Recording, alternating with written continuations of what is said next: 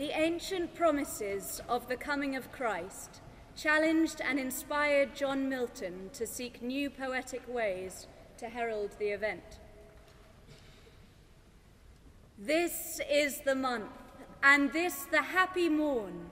wherein the Son of